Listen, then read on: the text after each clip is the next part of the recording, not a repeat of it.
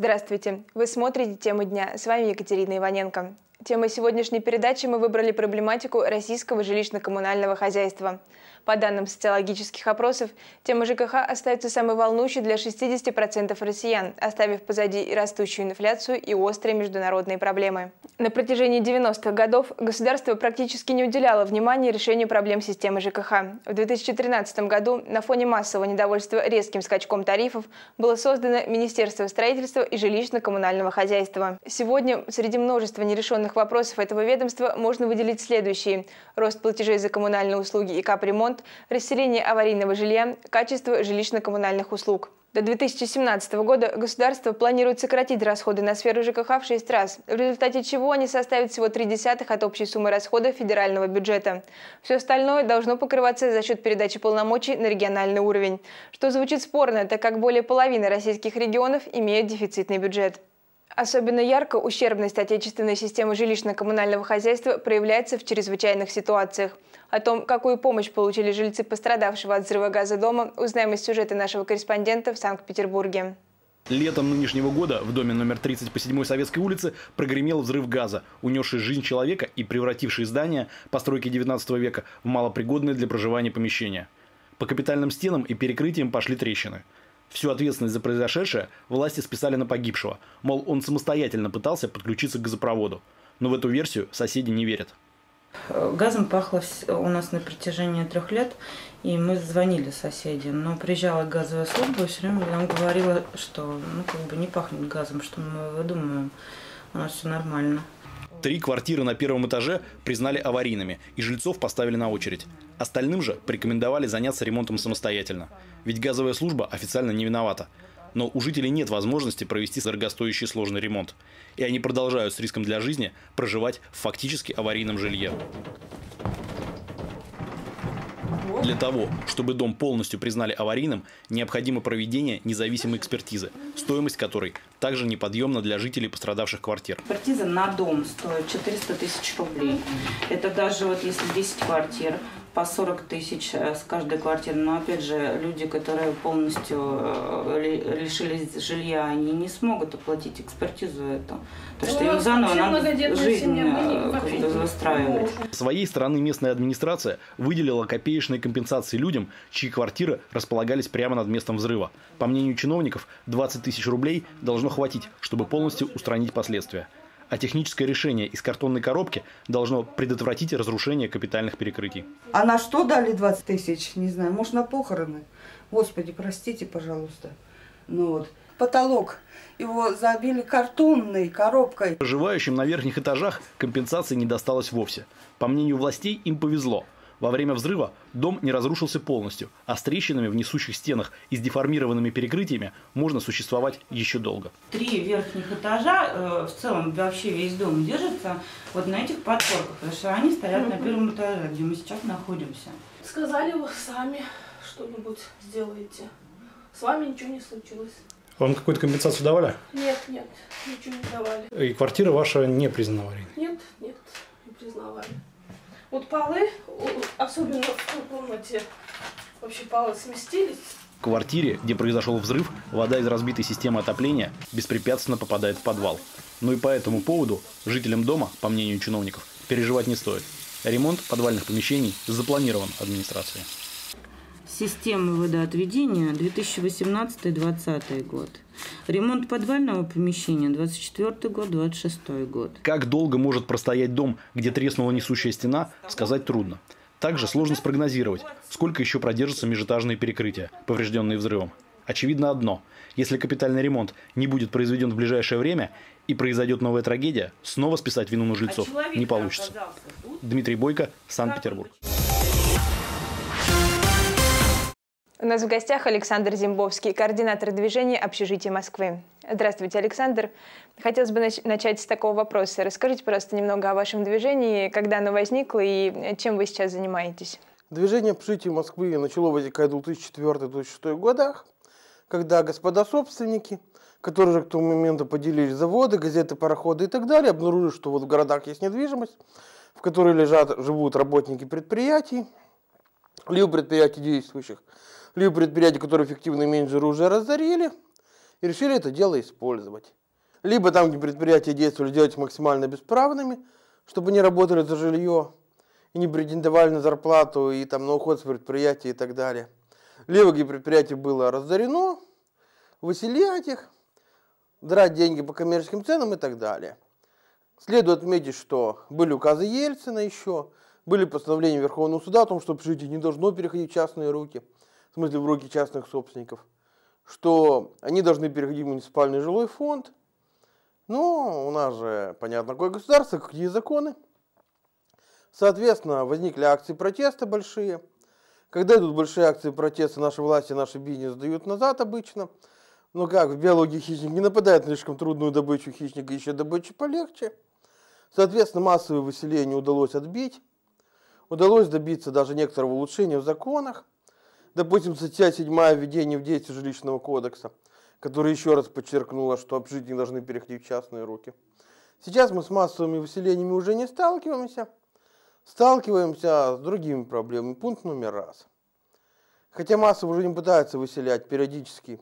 Допустим, дом как-то хитро оформят, либо как нежилой, либо еще как-нибудь и пытается его зачистить. Например, самый забавный такой случай был в на Барабанном переулке, в котором жильцов пытались оптом выселять в связи с пожарной опасностью. Это пункт номер первый. Пункт номер два. Те дома, которые уже перешли к городу. Ну, естественно, городские чиновники тоже любят деньги. Я бы сказал, что чиновников от предпринимателей вообще отделять неправильно. Это обычно один и тот же класс, одни и те же ребята – там часто между ними связи, которые бы назвал коррупционно-половыми, допустим, как старик Батурин градоначальник, а старуха Батурина строительный начальник. Ну и, соответственно, они тоже любят деньги, тоже пытались выселять.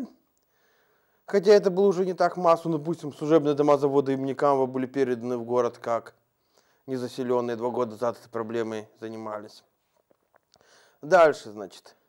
Еще одна проблема авиастроители завода «Салют», сейчас медики и педагоги, уже сейчас тоже специально уже госслужащих, заселяли, обещав им квартиры там, жилье, но реально оформляли документы так, что при нужде можно было легко выкинуть.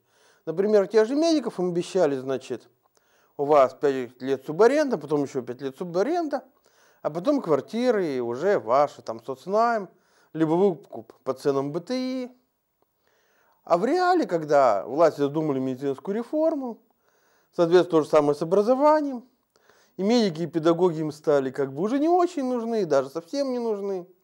И тех, кого есть, сокращаем, поэтому нет смысла создавать каким-то привозным медикам хорошие жилищные условия. И пытались людей массово выкинуть. еще одна проблема. Тех, кого не выселяют, собственно говоря, массовое снятие с очереди на жилье. То есть людей как-то оставили на очередь на улучшение жилищных условий нет жилья по нормам предоставления. А потом как-то чиновники вдруг выяснили, что человек не только у себя в комнате живет, он еще и в коридоре живет, он еще на лестнице общего пользования живет. Хорошо, что площадь дворов не научились нарезать. Что характерно, это дело незаконно. Причем, если сразу ДЖП применишь, называется административный ресурс, и люди суды проигрывали, то теперь, после того, как тема стала шумной, люди начали суды выигрывать, и человек, обратившись к толковым юристам, либо юристам движения общежития, либо просто хорошему адвокату, дело выиграет по снятию с очереди. Но юристы есть и немногих, а с очереди снимают всех, то что выигрыш ЖП очень большой. Александр, как сегодня реализуется программа доступного жилья и насколько она эффективна? Очередь на улучшение жилищных условий и переселение из ветхого аварийного жилья – это немножко разные вещи. То есть очередь на улучшение жилищных условий – это, допустим, у тебя нет э, площади по нормам предоставления вне зависимости от того, как, какого качества у тебя площадь. Переселение из ветхого аварийного жилья это уже зависит не от площади, а от ветхости и аварийности жилья. Соответственно, в Москве еще до этого как-то расселяли, причем очень как-то. Допустим, у нас было общежитие на Дубининской. Там была такая замечательная вещь, представляющая интерес для спелеологов. Дыра в перекрытиях с четвертого этажа на второй этаж на кухне. То есть там это общежитие пытались сначала выгонять там людей, чтобы выжить, устраивали там потопы горячей водой, холодной водой. Там. Естественно, это все никто не чинил. В итоге в одном месте там у них просто провал, в других местах они там доски клали, лишние половички, чтобы внезапно не провалиться. Но как бы их не расселяли, не расселяли, не расселяли, расселили только после серии акций протеста с их стороны. Вот как раз в том году, когда себя не забирался, все-таки им удалось власти дожать, и они начали потихоньку разъезжаться, к настоящему моменту большинство уже разъехалось. Но как бы в принципе в Москве еще как-то расселяются, но как бы в других городах, где недвижимость менее дорогая и меньше у людей желания снести старый дом на месте, построить новый большой, а жильцов старого дома отселить куда-нибудь на окраину. С отселением еще хуже. Кроме этого, в Москве есть такая замечательная вещь, еще не только в Москве, это в проекте, но это очень опасный закон, который сейчас по ведомствам ходит, но и еще до Думы не дошел, и мы очень надеемся, что не дойдем, боимся, что дойдет, о том, что людей из ветхого жилья расселять уже не на постоянных условиях, а на какой-то условиях некоммерческого найма. Что такое некоммерческий найм, непонятно. Чем отличается от коммерческого найма, тоже непонятно как быстро цены за некоммерческий найм дойдут цены за коммерческий найм, собственно говоря, тоже непонятно. Но понятно, что если этот закон будет принят, то расселять ветхие дома и объявлять дома ветхими и аварийными будут гораздо быстрее и охотнее, чем это делают сейчас. Но жители этих домов будут радоваться, двумя говоря, гораздо меньше, чем сейчас, поскольку это уже фактически выселение на улицу – ну, либо жилье снимаемое на коммерческих началах. Александр, а вот э, программа «Доступное жилье», как вообще, на ваш взгляд, она, в принципе, возможна сегодня в российских реалиях? И есть ли, в принципе, в России доступное жилье, в частности, в Москве? У нас возможно все. Опять же, какая-то отдельная социальная группа, борющаяся за свои права, может чего-то добиться. Но, собственно говоря, если ты не борешься свои права, тебя массово снимают с очереди на улучшение жилищных условий. Например, вот тоже с многодетными семьями была замечательнейшая история, что когда наш гарант Конституции избирался, им всем сказали, скорее бегите, получайте пособие, покупайте жилье. Треть примерно успела пройти, а остальные трети сказали, ребята, президент избрался, популизм кончился. Дальше они пошли, устраивали акции протеста, самые различные – через это некоторых час получила жилье. Собственно говоря, дальше был следующий год акции протеста, вахта и голодовка у приемной Единой России, через что еще определенная часть получила жилье, причем не только участники акции протеста, но значительная часть других многодетных семей. То есть проблема в том, что у нас власти рассматривают право на доступное жилье, право на медицину, право на образование как недопустимое наследие Советского Союза и стремятся и это все упразднять с максимальной скоростью. Чем-то скорость ограничена. К тому, что в отличие от Николая II, являясь вменяемыми и психически здоровыми людьми, хотя и сволочами, они прекрасно понимают, что пробовать народ на прочное занятие опасное. Один, два, три раза состязание в прочности выиграешь, а потом либо успеешь унести ноги, либо не успеешь тогда в подвал фотографироваться. Поэтому там, где они встречаются с организованным сопротивлением, они отступают. Так что в каждой любую конкретную проблему выиграть можно, но в общем ситуация ухудшается и будет ухудшаться. Александр, хотелось бы коснуться еще такой очень важной темы. Это рост тарифов ЖКХ. Э, с этого года правительство установило норму роста, которая не должна превышать 30% от уровня инфляции. А, на ваш взгляд, насколько сегодня реальна величина э, совокупного платежа граждан за коммунальные платежи и почему происходит рост тарифов ЖКХ, ну, как минимум на уровне инфляции? А, ну это все замечательно, как у нас растут тарифы. Пункт номер раз. У нас энергетика, и тепловая энергетика, все доставка света, там тепла в дома, слава Чубайсу, децентрализована для удобства пользования, чтобы пользователь мог выбирать. Каким образом оно происходит на практике? Естественно, по слову Чубайса, не выросли новые электростанции, которые конкурируют между собой, не выросли новые тепловые сети, которые конкурируют между собой.